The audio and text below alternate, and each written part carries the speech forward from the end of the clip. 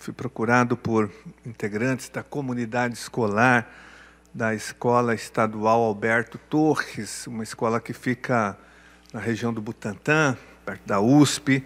E a comunidade está muito preocupada, senhor presidente, porque ela recebeu uma informação que eu estou, inclusive, checando. Liguei hoje para a diretoria de ensino, é, porque a escola recebeu a informação de que a escola será fechada, uma escola estadual é, tradicional, uma escola antiga da região, que já formou milhares de alunos na área do ensino fundamental, na área do ensino médio, pode ser fechada. Essa foi a informação que a comunidade escolar recebeu. E a escola será fechada porque será construído um estacionamento de um parque de ciência do Instituto Butantan, porque a escola fica exatamente ao lado do Instituto Butantan. Eu fico perplexo com isso. Primeiro que não se fecha uma escola no estado de São Paulo. Escola pública não se fecha, nós precisamos de mais escolas e não de fechamento de escolas. Nós sabemos que a política do PSDB sempre foi pelo fechamento de salas, de turmas e até mesmo de escolas. É o grande sonho do PSDB é fechar escolas em São Paulo. E ele tenta a todo momento, mas tem empecilho legal.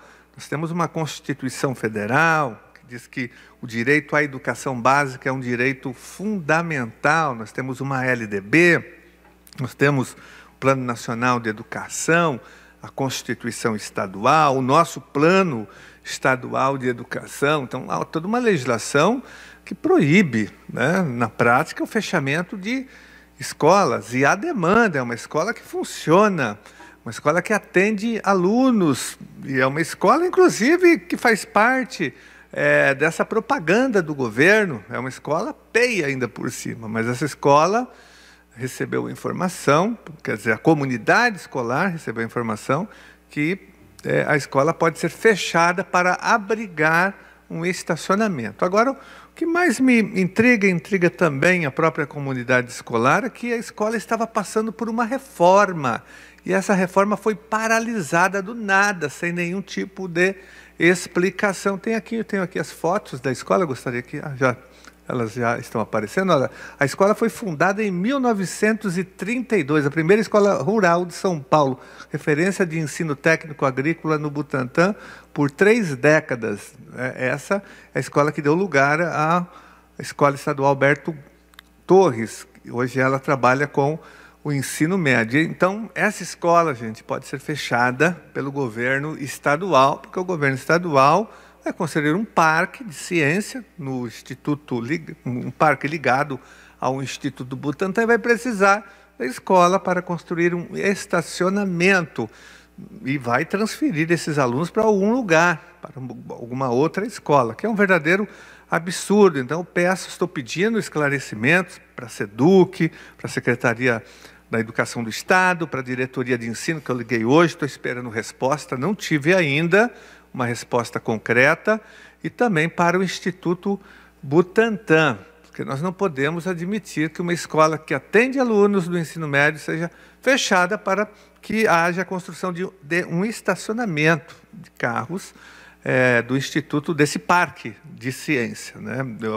Aí o Instituto Butantan, junto com o Estado, tem que buscar uma outra alternativa, nada contra o Instituto, Butantan, tudo a favor. Inclusive, o Instituto Butantan foi o pai da vacina, né? não foi o Dória. O Dória não foi pai de nada. Aliás, o Dória, deputado Telhada, queria vender o Instituto Butantan em 2019. Ele levou o Instituto Butantan para aquele encontro em Davos com o Paulo Guedes e, e anunciou a venda. Estava né, colocando o Instituto Butantan em liquidação. Até soltou um vídeo em inglês, me lembro, está na internet, vendendo o Instituto Butantan, que é um instituto centenário.